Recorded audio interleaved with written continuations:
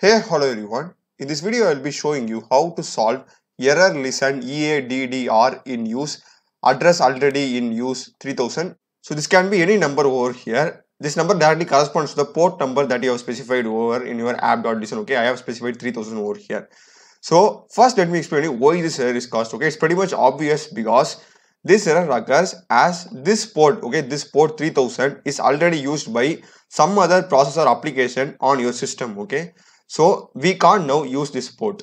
And the simplest way to solve this problem is running this particular server on some other port. So just go to your uh, code okay? Your main.js file okay?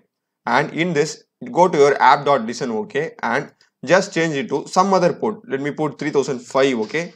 And i hope it isn't like uh, occupied. But just change it. I'll just change it here as well. 5 saving it. And just now come here I'll just try to start my server.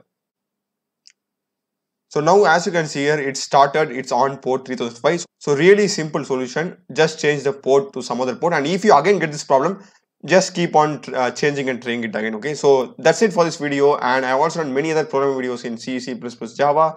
Do check them out, subscribe me. Thanks for watching.